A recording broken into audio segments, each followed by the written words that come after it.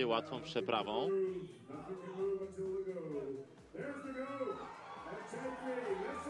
I chyba mamy, proszę Państwa, powtórkę z przeszłości. Dave Shafi mocnym atakiem w górę, ale jednak nie zdobędzie całego nadgarstka Denisa Cyplenkowa. Zobaczymy, walka już trwa tyle, że zaraz da o sobie znać wytrzymałość mięśniowa obydwu zawodników. Chyba faul łokcia pierwszy po stronie Dave'a.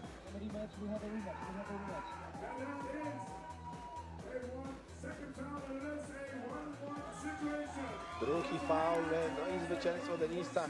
To znaczy jedno, będzie jeszcze jeden pojedynek, ale no Tomku, Denis wytrzymał to psychicznie. No a teraz rematch, czyli powtórny pojedynek na prawą rękę. Finał. A w tym sporcie, jak w każdym innym ludzi niepokonanych, czego najlepszym dowodem jest dzisiejsza porażka Denisa. Wiem jedno, teraz walka jest przerwana z powodu faulu. Drugi faul. Pierwszy Bardzo mnie to zainteresowało. Jestem pewien, że będę próbował dowiedzieć się czegoś więcej tuż po tym turnieju o tym zawodniku, bo przecież warto, rośnie nam nowa gwiazda.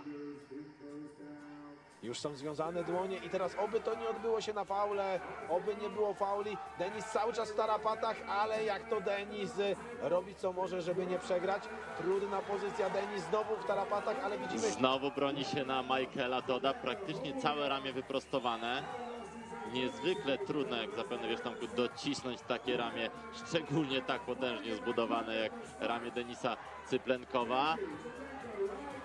Dave Shafi musi uważać na swój łokieć, niestety, ach, nie może sobie pozwolić na drugi faul, który właśnie miał miejsce.